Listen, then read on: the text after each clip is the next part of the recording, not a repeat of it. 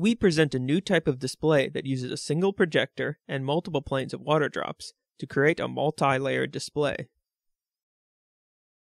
Because the projector is controlled in real time, we can create an aquarium simulator where images of swimming fish are generated on the fly.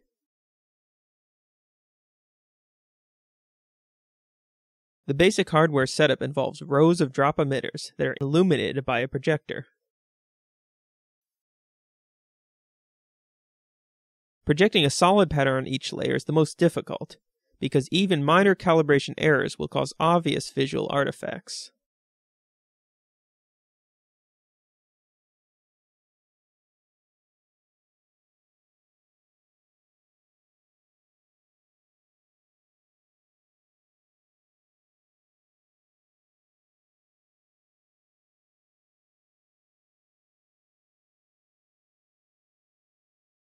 As shown in this example, the display is viewable from a wide variety of angles.